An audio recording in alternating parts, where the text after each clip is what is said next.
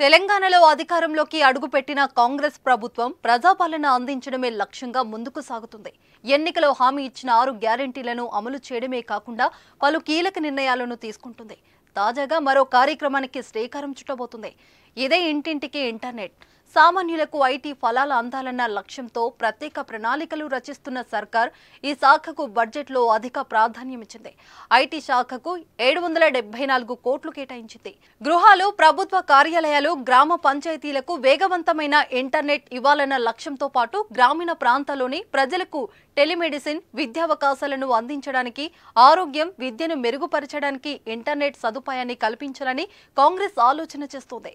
గజం కేవలం ఇరవై మూడు వేల రూపాయలతో నూట అరవై ఐదు గజాల భూమి కేవలం ముప్పై ఎనిమిది లక్షలు మాత్రమే.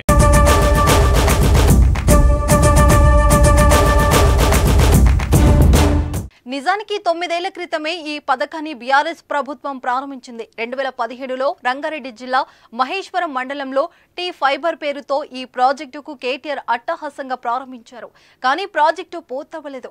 ప్రస్తుతం నిధులు లేక చాలా చోట్ల పనులు నిలిచిపోయాయి. కానీ కాంగ్రెస్ ప్రభుత్వం ఈ ప్రాజెక్టును పూర్తి చేసి ఇంటింటికి ఇంటర్నెట్ అందించాలని భావిస్తుంది.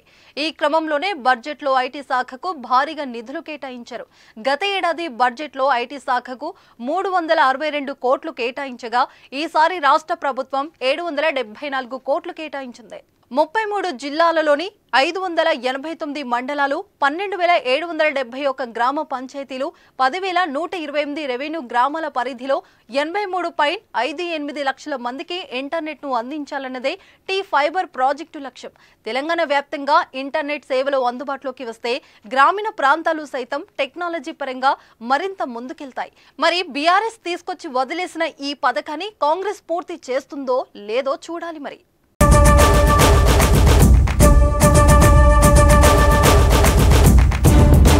ఐటీ రంగంలో అభివృద్ధి సాధించడం ద్వారా తెలంగాణలోని గ్రామీణ ప్రాంతాల ప్రజలకి మరింత అధునాతన సౌకర్యాలు కల్పించడానికి వీలు కలుగుతుంది. అంతేకాకుండా ఎంతోమందికి ఉపాధి అవకాశాలు లభ్యమవుతాయి. ఐటీ రంగానికి మరింత మెరుగుపరిచిన విధానాన్ని రూపొందించుకు రూపొందించేందుకు రాష్ట్ర ప్రభుత్వం సిద్ధంగా ఉంది. గ్రామీణ ప్రాంతాల అభివృద్ధి మరియు ప్రజల జీవన స్థితిగతులను మెరుగుపరచడానికి వీలుగా ఆర్టిఫిషియల్ ఇంటెలిజెన్స్ను ఉపయోగించుకుంటాం. ఐటీ రంగంలో భారీ పెట్టుబడులతో ముందుకు వచ్చే వారికి అత్యంత సులువైన విధానాలతో స్వాగతం పలటమే కాకుండా భవిష్యత్తులో కూడా వారికి ఎలాంటి సమస్యలు తలెత్తని పటిష్టమైన విధానాలని రూపొందిస్తున్నాం. అత్యంత అధునాతనమైన మౌలిక సదుపాయాలు కల్పించడం ద్వారా ఐటీ రంగంలో నైపుణ్యం మరింత వృద్ధి చెందే విధంగా మా నూతన పాలసీ ఉంటుంది. హైదరాబాదులోని ఐటీ పరిశ్రమ రోజు రోజుకి అభివృద్ధి చెందుతున్నది. ఐటీ పరిశ్రమలతో హైదరాబాద్ కిటకిటలాడుతున్నది.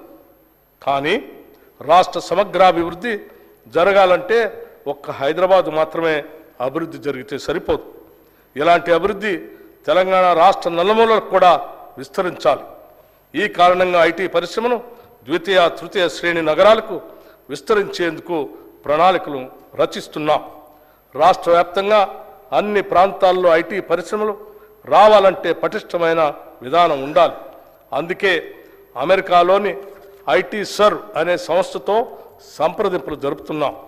దీనివల్ల తెలంగాణ రాష్ట్రం ఐటీ రంగంలో తిరుగులేని శక్తిగా మారుతుందనటంలో సందేహం లేదు.